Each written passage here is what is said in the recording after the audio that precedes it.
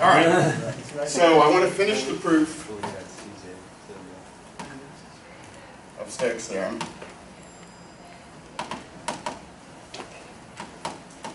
And then I'll make a few more comments and then we're going to start the discussion of the classical way of doing this stuff.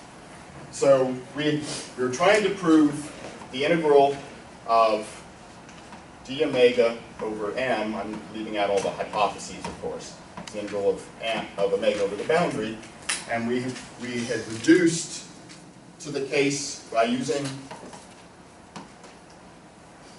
a partition of unity argument, we had reduced to the case of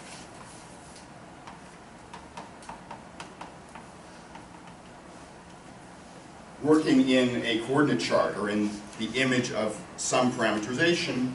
And what I did finish yesterday was the case where the parameterization avoids the boundary. And we saw that in this, in this case, this would be zero. And we showed that this side was zero by applying Stokes' theorem. I mean, by applying fundamental theorem of calculus. And now I want to do the case where you have a parameterization that hits the boundary. And so we, we had G mapping an open subset now of RK plus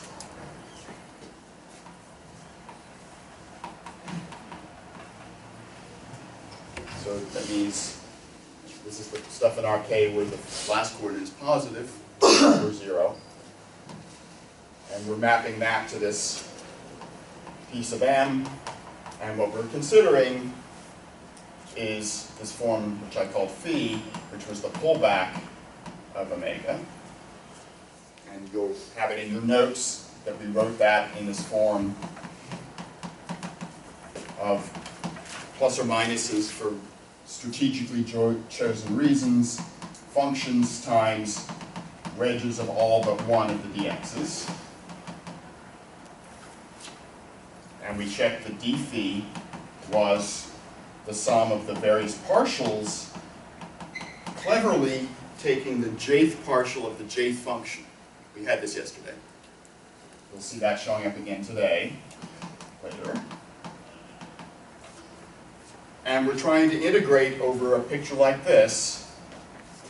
We're trying to integrate d phi over this and see that it's the same as integrating phi over the boundary, which in this picture is the part of this in this in the hyperplane where xk is zero.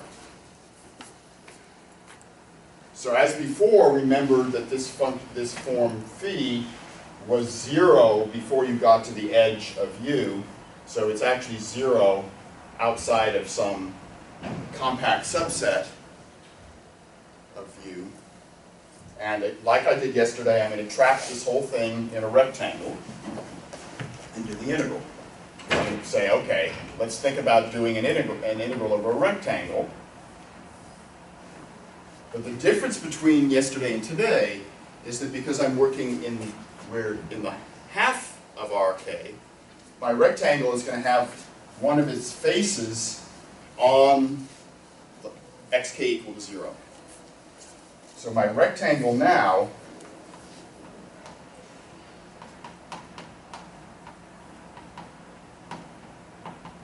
my rectangle is going to look like the various coordinates doing whatever they feel like it, whatever they feel like for the first k minus 1, but in the last coordinate, I've got to start at 0 and go up to, to say b sub k. Right, because I'm, everything is defined starting at 0 and going up. So in the last coordinate, I'm going to go from 0 to b sub k. That's my rectangle. Okie dokie. So what happens when I integrate d phi over the rectangle?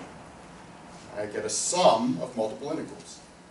So I get a sum of integrals of partial of fj with respect to xj dv. Now, using your divine inspiration, how do I want to iterate to do this iterated integral? Do dxj first. I would like to do xg, dxg on the inside. Wow, Daniel brought a lot of lunch. So I'm gonna have a sum where I'm gonna do integrals over all the variables except j, and then do the j integral on the inside. I'm not gonna write it all out pedantically. So this is good. But I'm going to specialize, this is good, I'm going to do the case where j is less than k, and then I'm going to write the kth one down separately. For the kth one, what happens on the inside when I integrate dxk? Right, this one goes from 0 to b sub k. So I want to emphasize that 0 here. Whereas all of these are going from a sub j to b sub j. All of those are doing stuff like this. Going that way. So what happens when I integrate dxj and go from aj to bj here for any value of the other variables? I'm doing fundamental theorem of calculus like we did yesterday. I'm getting fj here minus fj here. Well, what is that? Zero. Right, the functions are all zero outside of this compact set in here. So fj here minus fj there, those are all zero. So these, these integrals are all zero, no matter what values the other x's have. What happens here though?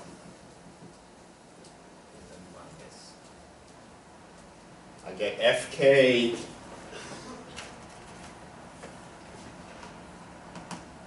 here minus fk here, and all of a sudden one of them makes zero. So what do I get for this whole thing? I get integral over all the other variables. So in this picture, I would be integrating over the projection of this thing into the rk minus 1 down here. So I'd be like integrating over here. The function that does integral minus integral with respect to xk. What do I get? I get fk at x1 to xk minus 1 bk minus fk at x1 to xk minus 1, 0. And then I'm integrating that dx1 up to dxk minus 1 over the, over the projected rectangle. So this would be like, well, whatever. So what does this turn into? Ken said it a while ago.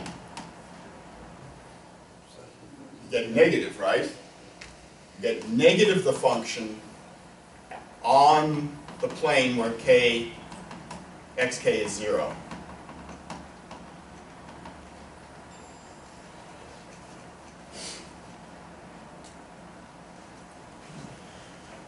Now, why in the world is that what I would get when I do the integral of phi on the boundary?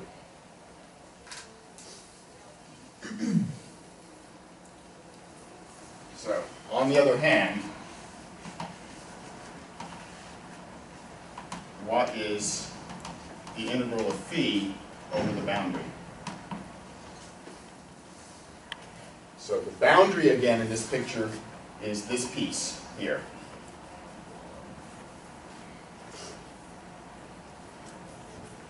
So of all the terms in phi, what happens when I restrict to the set where xk is zero? So this, remember, means xk is zero here. What happens to all these dxk's? They pull back to zero. So of all these terms, which is the only one that's going to show up? The one in which dxk is missing.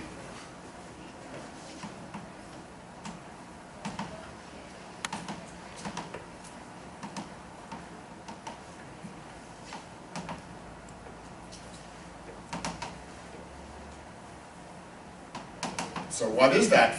Well, it's the integral over the then of minus one to the k minus one f sub k dx1 wedge dx k minus 1, and I'm at points where the last coordinate is 0, so this is x1 to xk minus 1, 0. That looks a lot like this, except there's something funny going on. K is somehow even. Hmm? K is somehow even. No, okay, it's not even. Somehow we get, we get that minus Are you telling me you don't believe that k minus 1 is always odd? Well, that's why k was even for Ken, I get it. But it's not, right? Do you remember, once upon a time, we made a big fuss about how we oriented the boundary? And what did we check from that definition about the boundary of RK plus? Was it always the standard orientation on RK minus 1? No. No. What was it? Negative one to the K times, Aha, Daniel remembers. I wasn't even here. And you weren't even here.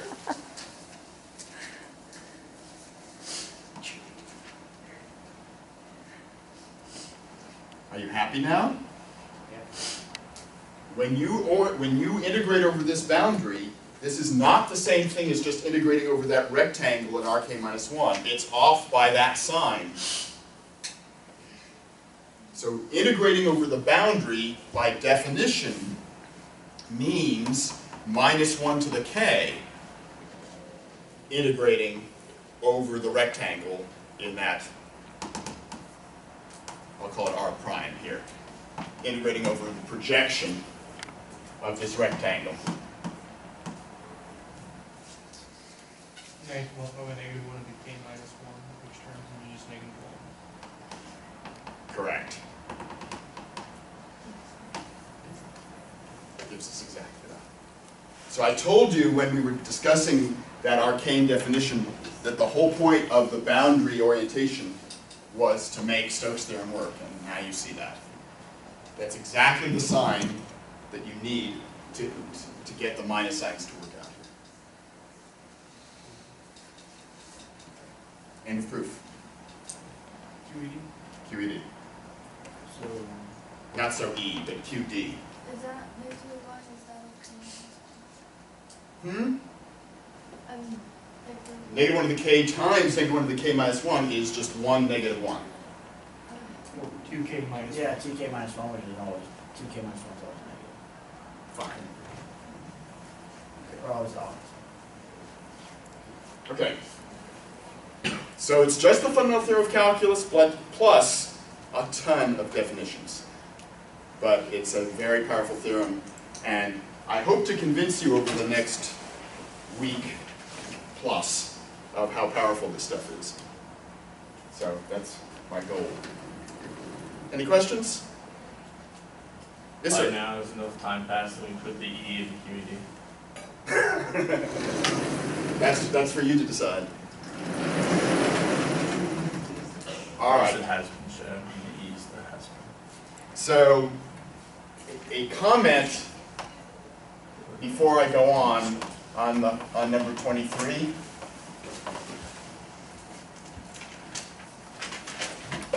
So, the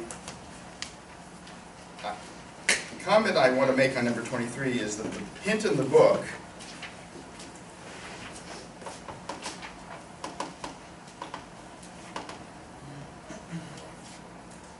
So, this is what, this is eight point five point twenty-three. Um, hint in the book says, use definition one of a manifold to show blah, blah, blah, blah, blah, blah, blah. What is the first definition? We had these three alternative definitions. X was There's the explicit, where you think of the thing as a graph. So you can, you can represent M locally as a graph over one of the standard coordinate planes. Right, that was one of our things that we got out of the implicit function theorem. So you can cover M up with open sets.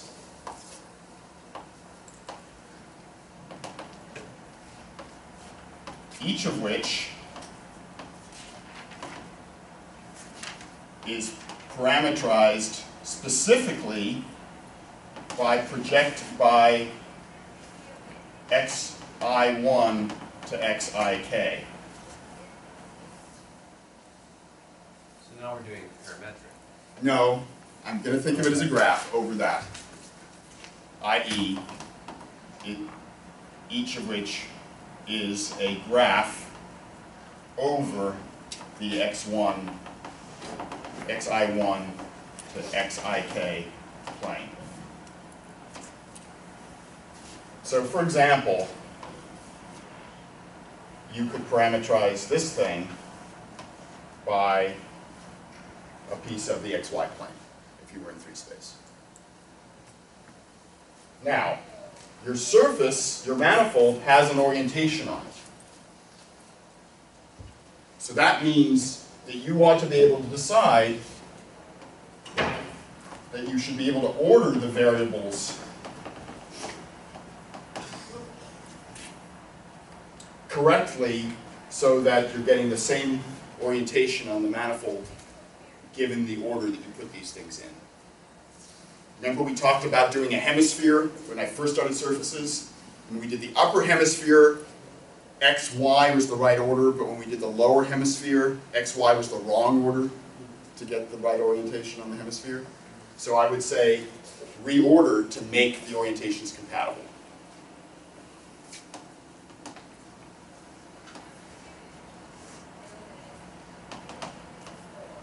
So schematically, in this picture, I would say order the variables this way to give a counterclockwise orientation there. That would be compatible. Compatible with what? You're given an orientation on M, we're trying to construct a K-form. So what this is saying then is that if I take dxi in the order that I've reordered them to make things compatible, this is a positive K-form on this piece of manifold.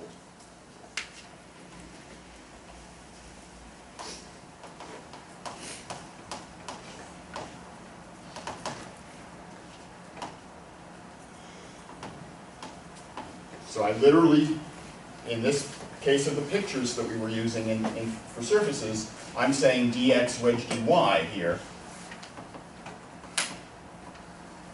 gives you the right orientation on the surface. So think of that two form on M sitting inside Rn. Think of this two form sitting on this surface sitting in R3.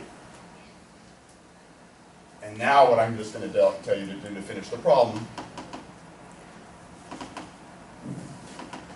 is put in your partitions of unity functions to bump the things off so that they're oh, so that you're only working with this on this open set that we're talking about and add up. Check that this works.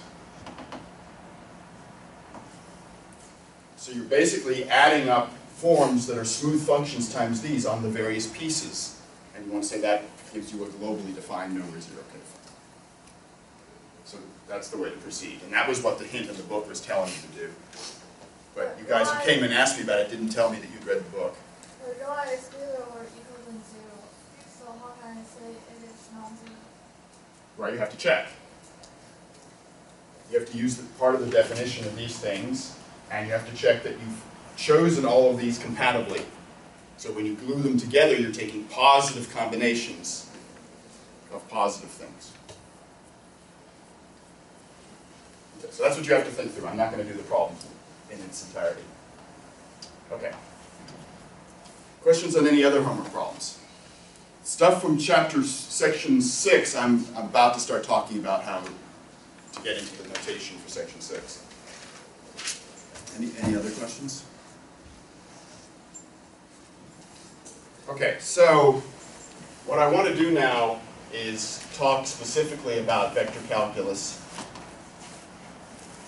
in R3 and the standard notations. I've been trying to show you guys standard notation, but I want to be more thorough here. I want to give you a dictionary of standard notation, comparing our stuff with what people learn in the standard calculus course or physics. So if we're in R3, we've got what kinds of K-forms if we're in R3? One, two, and maybe three. And zero.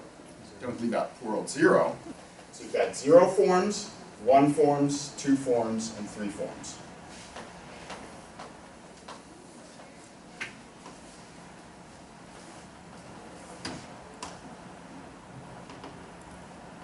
I hope I left enough room. All right, what's a zero form? This It's a function. function. What is a function? Classically, it's a function. Okay, that was easy. What's a one form? Well, it's a thingy that has a single dx and a dy and a z,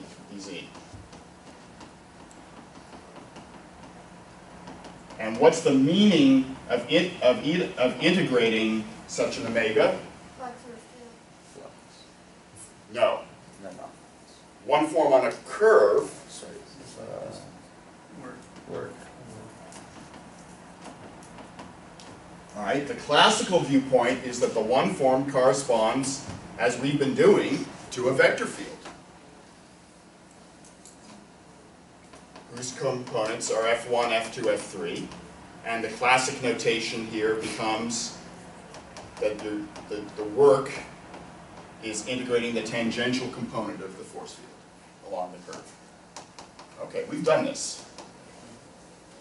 In fact, we've done everything I'm going to do, but I'm going to make more connections today. Now we come to a two form, which I'm going to call eta. And what's our recipe? Again, it corresponds to a vector field, which maybe I'll call G for now to be less confusing. Again, you have G1, G2, G3. And what's the physical interpretation if I have a vector field and a surface? Now I do flux.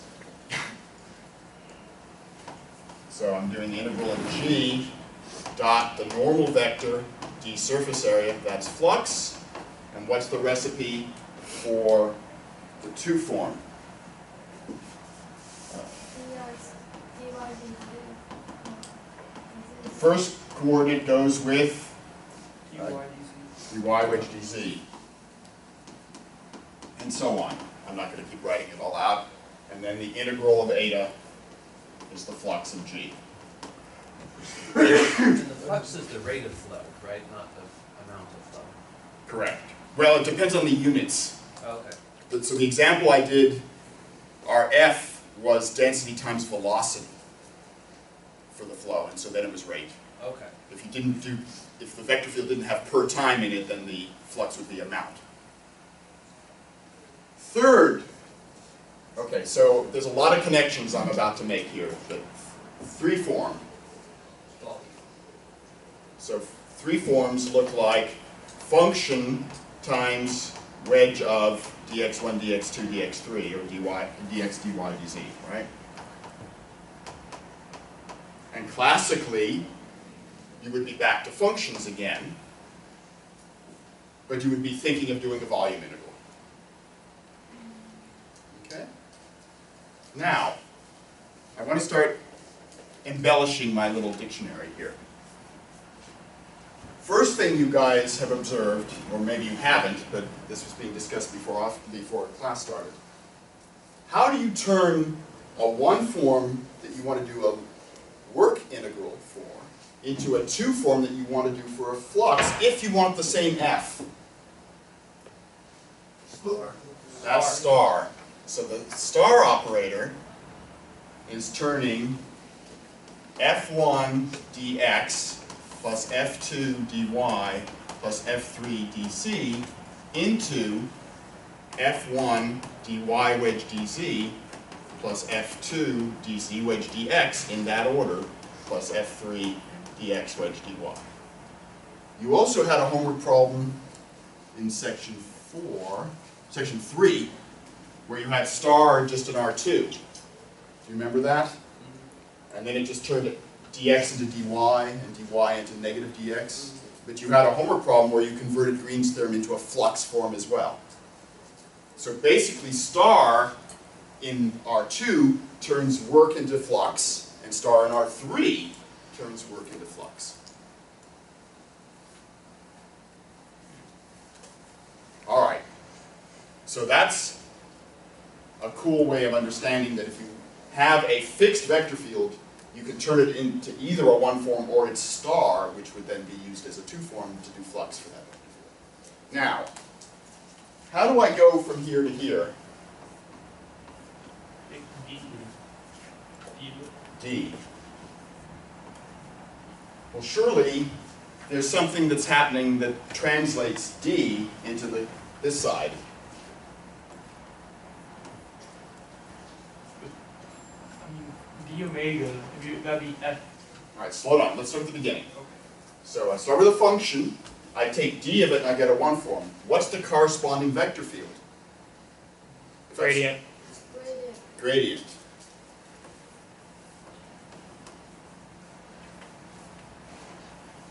Right, everybody agree with that?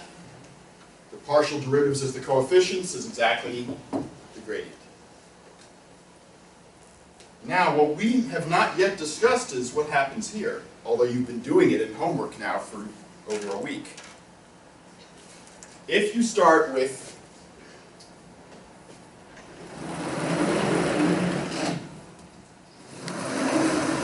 If I start with the one form,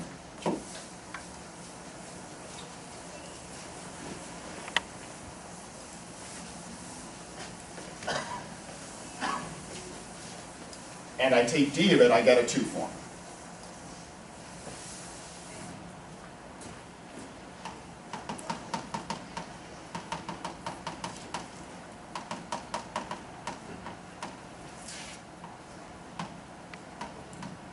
And I've never made you guys, nor myself, write down a formula for this. We've just done it, right? But what is the formula if I take d of this? I'm going to have some stuff that has a dy wedge dz. And I'm going to have some stuff that has a dz wedge dx. And I'm going to have some stuff that has a dx wedge dy. Can you fill in the blanks? F3 minus F2. Yeah. Two over D, So let's Partial see. of F1 with respect to F. partially over. Now, first of all, there's no dx's. Yeah. So it's got to be these guys. So it's Partial negative partial of F two Yeah, over, two. over, um, partial Y. No. Wait, Partial partial. Partial Z. If you're doing the derivative of this, you need a partial z. affects the Z. But then you would have a dz dy, and you want dy wedge dz, so it gets a minus. And then we have positive partial of Then I'd have positive partial f3 with respect to y. And similarly, you would have here, notice by the way there's a pattern, right? You have to have the partials going with the two forms that I have, and you have to have corresponding components of f but switched. So what should I have here? I should have a dz and a dx. Did I do that wrong? No, I did it right. So F1, and F3, partial of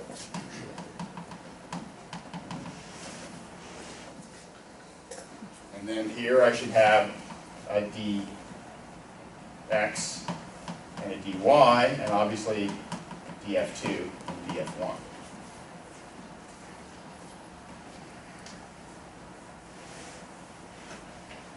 Well, by our dictionary, this corresponds to a vector field. Now, by our dictionary, this started with a vector field as well. Of course. This vector field that I get here that has these ridiculous collections of partials in them, of course you want to write this down 25 times a day. Oops.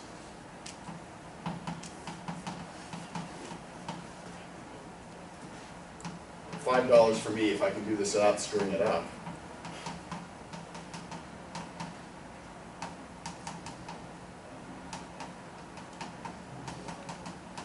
There is some sort of cyclic rotation pattern going on here. All right, what is this ridiculous thing called? Well, this ridiculous thing is called curl of f. You start with a vector field, if you're in Math 2270, and you are taught how to compute the curl with this ridiculous bunch of formulas. Now, you can't help but think about how this reminds you of doing determinants. Doesn't this remind you of doing minors, cofactors of determinants? Like, if I put F1, F2, F3 here, this thing would come from doing a little determinant if- I had E E1, E2, E3. This thing would be coming from doing a cross product where formally I'm putting as a quote vector in the middle the partial derivative entries. This is like turning D into a vector. If you took partial respect to x dx plus partial respect to y dy plus partial respect to z dz, that would be like making a vector of ddx, ddy, ddz. That's what we've done here. If you formally interpret this times this to mean take the partial of this with respect to y, and you interpret this times this to mean take the partial of f2 with respect to z, then if you expand this determinant, In cofactors down the middle? well, no, no, no, expand the way we've always done cross product. Hmm. You'll get exactly this vector field. And so physics books and calculus books write curl as take del and cross it with f, where del stands for the vector whose entries are the partial derivative signs. So this is not literally a vector. It is actually something that's called a tensor, we're not going there. But you can think of this as being what you would do if you turned ddx, ddy, ddz times dx, dy, dz into the corresponding side of the dictionary here. So physics books will write this literally, and math books you'll see too, if you look at a standard calculus book. You'll see curl written as del cross f, because this is how people actually compute it. Now you guys are probably faster at this point, just taking a one form and taking d of it. You can probably do that faster than you can doing all this. And so I'm not going to force you to use this notation, other than to say there will be a WeBWorK problem where I ask you to compute a bunch of things using this notation, but you can compute them any way you want. So this is curl. What it means, I'm going to tell you. So if you start with a vector field and you compute its curl, you get another vector field, and it has physical meaning, which we're going to talk about. So I've explained So that second arrow. the second arrow. So I'm sure the third one is dead. So this arrow is called curl.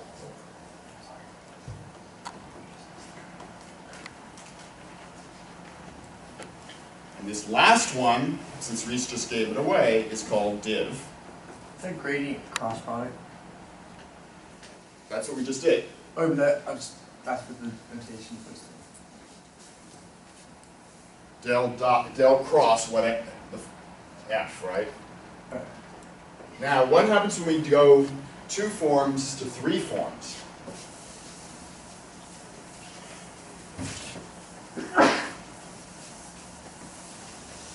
So I start with a two form. I Guess I should have done it up on that board, but. If I start with a two form,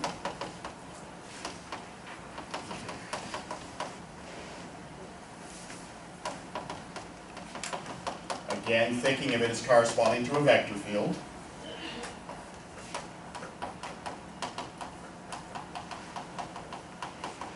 And you take D. You now get a three form, what do you get? df one dx plus df two dy plus df three d. Aha. Does this remind you of what we were doing left over here? When we were doing the Stokes theorem stuff? This is exactly what we ended up with when we wrote summation partial fj with respect to xj. So here you're taking the first component of your vector field and doing its first partial, plus second component, second partial, third component, third partial. This is exactly the formula we had appearing in our Stokes theorem. So you ended up with a function times dx which dy which dz. Not surprisingly, in your dictionary, when you take d, the function you get over here is called the divergence of the vector field.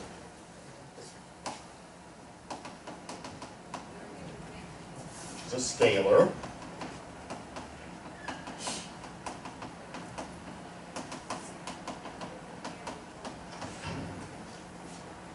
Physics books, again, will observe that if you think of that vector operator del, what are you doing with it in F?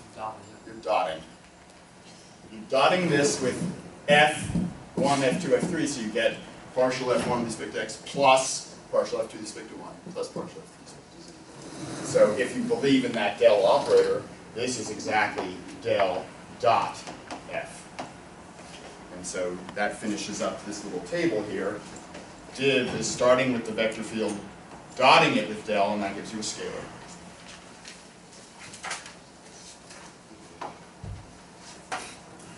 But we're not done yet, especially since Jonathan's interrupting. Go ahead. I don't mean to be rude, but Yes, you do. um, uh, I thought we were calling it Atled after my presentation. Don't you remember? Remember I gave a presentation on the Nabla? Nabla and And Atlas I completely forgot.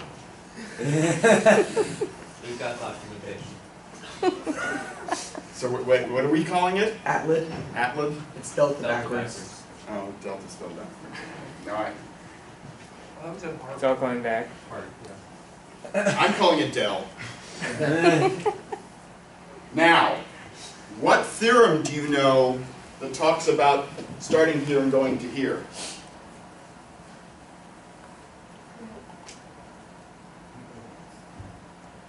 Hmm? If I do D and then I do D again. Zero. If I start here and I do D and then I do D again. That must say something over on this side, mustn't it? So what am I saying when I do that twice? I start with a function, I take its gradient, and then I take uh, curl, and I get zero. If I start here with a vector field, and I do it twice, what do I get?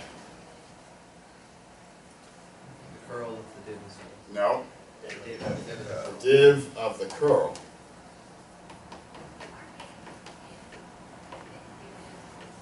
Now, there are hypotheses that we needed to know that d squared was zero. What did we need to assume about our differential forms to know d squared was zero? Do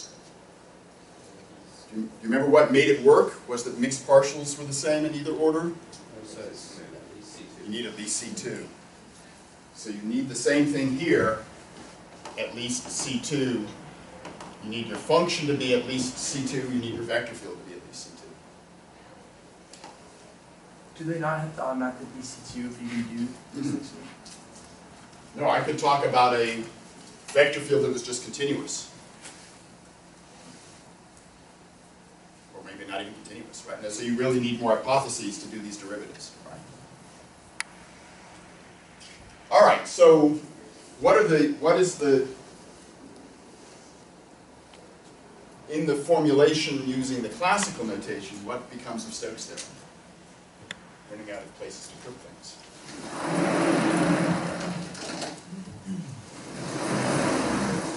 So I, I really need another line in my dictionary here. But uh, there's only so much I can put in there.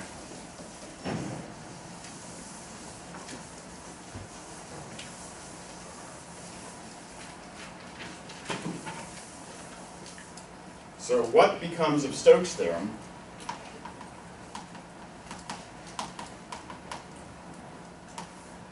in the classical framework?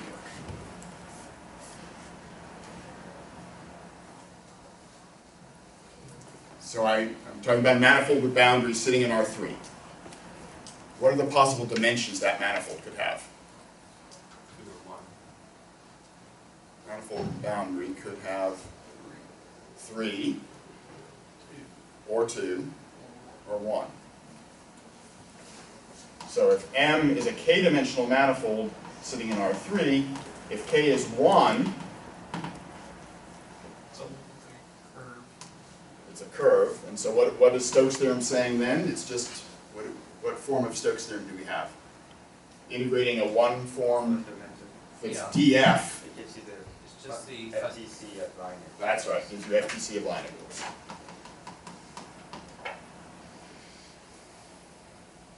K equals two. Yeah, the surface. We have a surface with a boundary curve, so I need a what form to start with? So if this is S, and this is boundary S, what do I start with if I want to do Stokes' theorem on a two-dimensional manifold with boundary? With which, what form? Yes, One One form. Start with a one form. And you say integral over the boundary of the one form is the integral of d omega over the surface, right? Put that in classical notation, please. So omega here is a one form.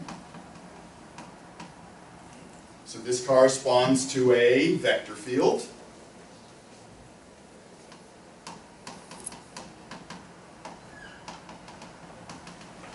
And if we put all our pieces together, what does Stokes' theorem become then? equals the curve. Well, wait, let's start with the left-hand side. Integral over the boundary of the surface of, uh, what's the integral of omega in the classical notation? F dot T. Where I'm doing the work. So I did the work done by F equals the integral of the two form now becomes the what of what? Curl But what do I do with curl F? It's a vector field. What do I want relative to the surface? What's the four-letter word? Flux. Flux. And I do the flux of what vector field? Across S. Curl.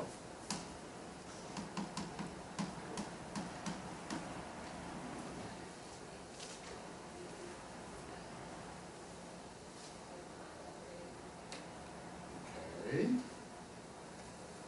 K is three.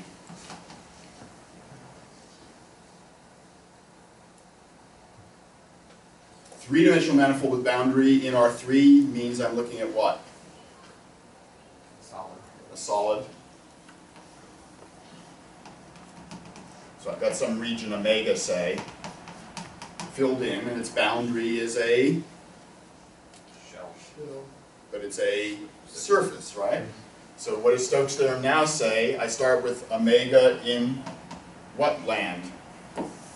What is omega now? Two form.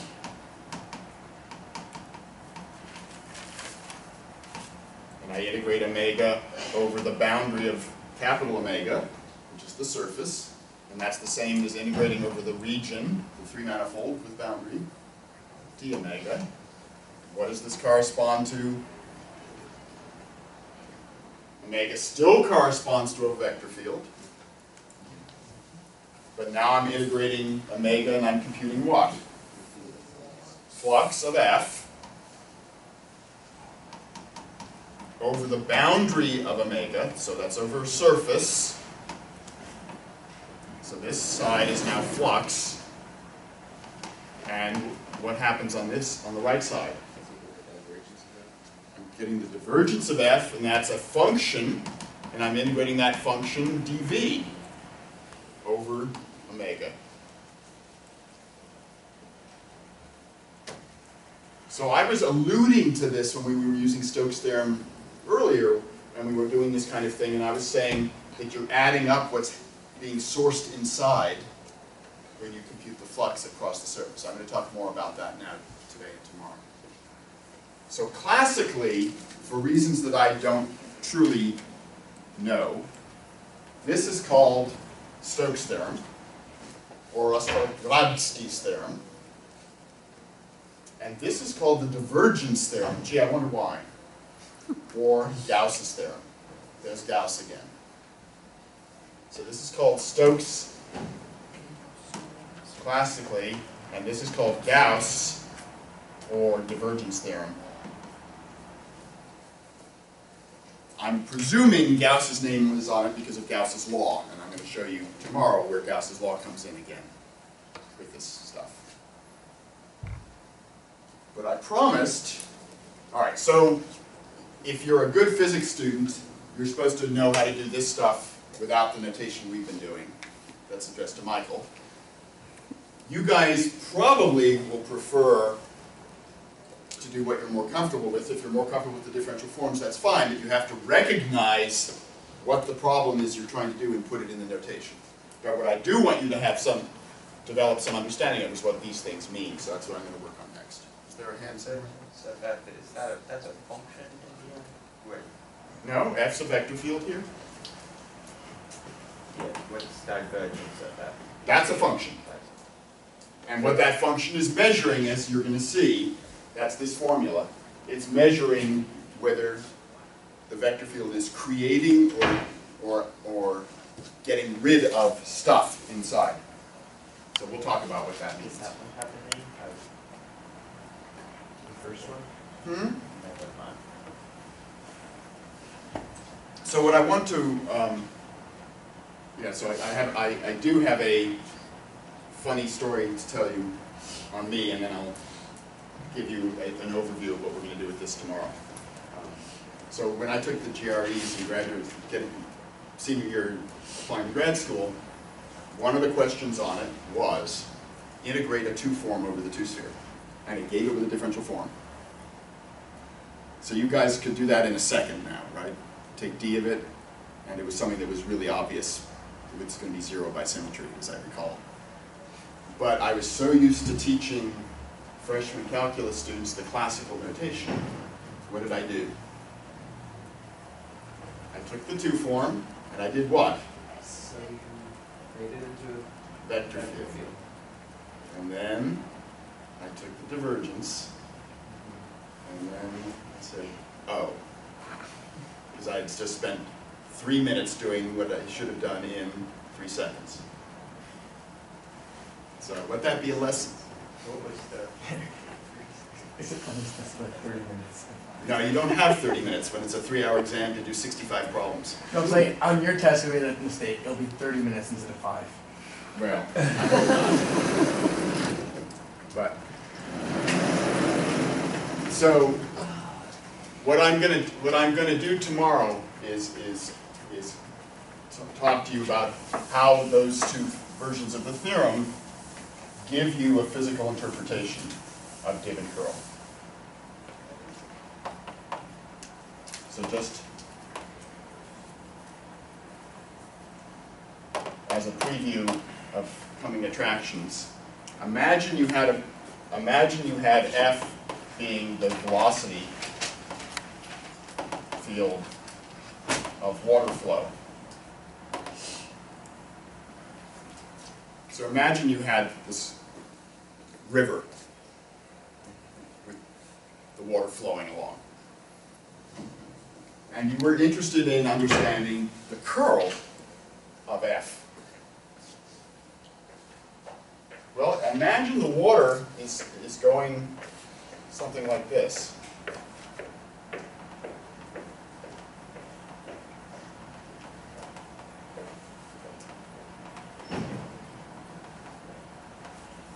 So imagine it's like taking the tangent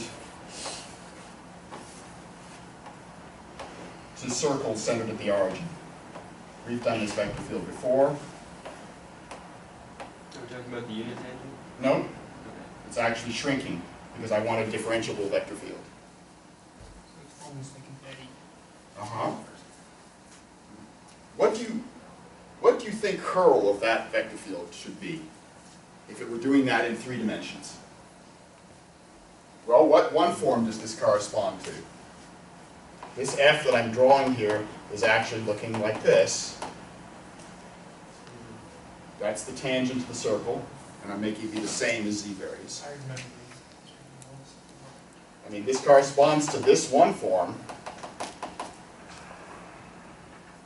So even if you can't do curl in your head quickly, you should be able to do D in your head quickly. What is it? Two, See what, It was two two so that means curl of F should be what vector field?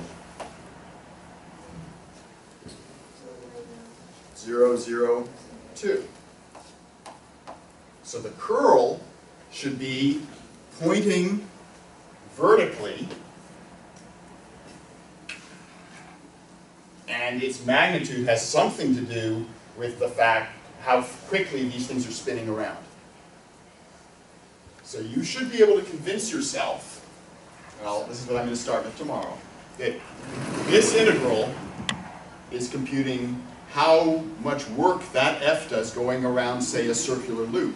Well, f is going in the same direction as the loop, so this is measuring how big f is tangent to the circle. And it's going to, what we're going to say tomorrow is, imagine taking a little um, paddle wheel and sticking it into the water. The water will make the paddles turn around.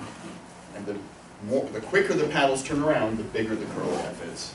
And your question for tomorrow is, how do you, how does that tell you the direction of curl F? Okay, we'll do that starting tomorrow.